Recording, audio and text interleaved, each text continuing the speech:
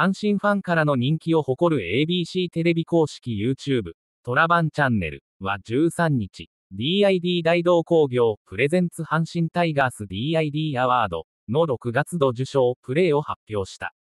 球団 OB のミスタータイガース、掛布正幸氏とファンが共に選んだベストプレーは、6月9日西武戦、佐伯宏斗投手の今季7勝目となった。実際の動画、佐伯宏斗が6月の DID アワード受賞。抜群の安定感、無失点投球で7勝目。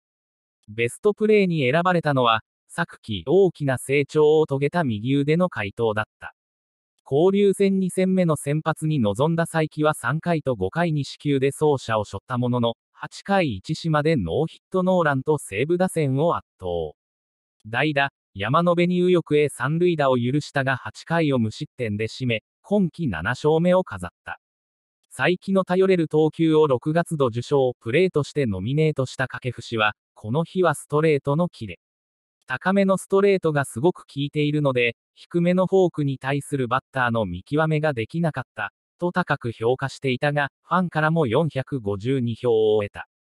受賞決定を伝える動画内で掛布氏は、バッターを力で抑える佐伯投手の姿は最近少し大きく見えるようになってきました。これから夏場、大変だと思いますが、最後までローテーションを守って頑張ってください、と賛辞と共にエールを送った。DID アワードとは、その月のホームゲームから最もファンを沸かせたプレーに贈られる賞。DID ブランドアンバサダーを務める球団 OB の掛布正幸氏が選んだノミネートプレーの中から、ファンが番組公式 X、旧 Twitter や応募フォームから投票し、受賞プレーが決まる。